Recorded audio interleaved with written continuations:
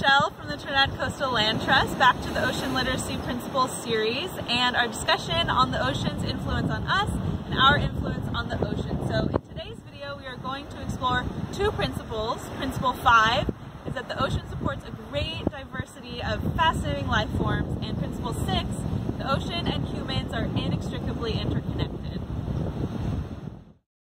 Covering approximately 70% of the planet, the ocean is massive and offers many different habitats for organisms to live. Environmental factors, like the temperature, oxygen content, and salinity of the water, constrains which organisms thrive in a particular area. For many marine ecosystems, the primary source of energy comes from the sun, the light of which is used by organisms in a process known as photosynthesis. During photosynthesis, these organisms use water, carbon dioxide, and the energy from the sun to make sugars. In the process, they also release oxygen as a byproduct. In the ocean, photosynthesis is mostly carried out by microscopic phytoplankton, which are themselves quite diverse and include bacteria and algae. They typically live near the surface of the ocean where sunlight is plentiful, and under the right conditions, these tiny organisms can become so numerous they form masses visible from space. These highly productive regions, which are illustrated as the hotter colors on this map, are often in shallow water found along the edges of continents. Phytoplankton form the basis of a food web that includes numerous and diverse organisms, from small zooplankton to the largest animal on Earth, the blue whale, in Humboldt County, you can observe this remarkable biodiversity at the intertidal zone, where a rainbow of organisms find homes among the rocks and pools at the place where the ocean meets the land.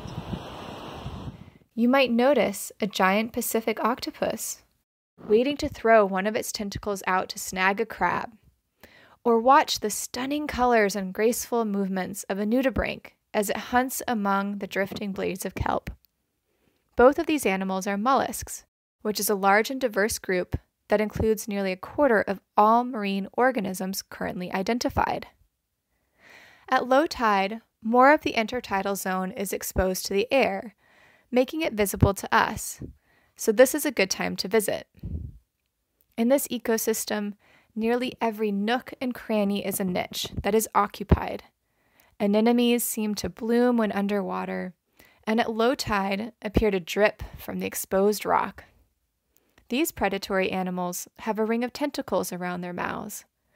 These tentacles are covered in cells that have stinging structures called nematocysts. They're used both for protection and to capture prey. Wandering among the rocks, keen eyed human visitors may see a gumboot chiton grazing on algae, or baby sea stars tucked in the cracks of their craggy homes. And don't forget to look up the diversity of the ocean food web extends beyond the water to the seabirds in the sky and the marine mammals who may be resting on nearby rocks. It even extends to you. Seabirds like Brandt's cormorants might be drying their wings after foraging for fish in the waves. Listen for the shrill cry of a black oyster catcher as it calls to its mate and probes the rocks for a meal. Notice the spots on a harbor seal's coat. The pattern is unique to each individual. California sea lions often announce themselves with rowdy barks that can be heard from far away. They tend to haul out in groups and can often be seen and heard along the coast near Trinidad.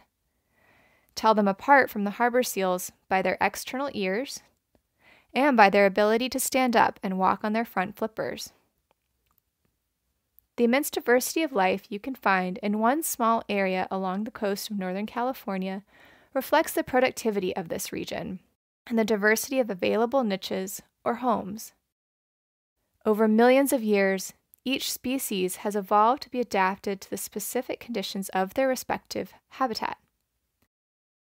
Even if you can't visit the ocean right now, visit a natural place nearby and practice looking for all of the different organisms around you.